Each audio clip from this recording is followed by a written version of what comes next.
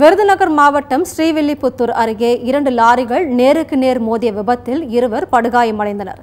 ஸ்ரீவில்லிபுத்தூர் அருகே தேசிய நெடுஞ்சாலையில் ராஜபாளையத்திலிருந்து மதுரை நோக்கி லாரி ஒன்று சென்று கொண்டிருந்தது. அப்போது விருதுநகரில் இருந்து ஸ்ரீவில்லிபுத்தூர் நோக்கி வந்து கொண்டிருந்த லாரியின் எதிர்பாராத விதமாக நேருக்கு நேர் மோதியது.